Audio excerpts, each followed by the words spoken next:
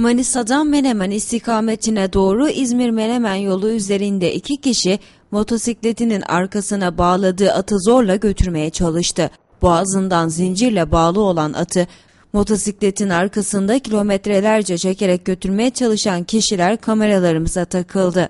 Yorgunluktan koşacak takati kalmadığı her halinden belli olan atı gören sürücüler şaşkınlıkla olanı biteni izledi. Sürücüler olaya tepki gösterdi.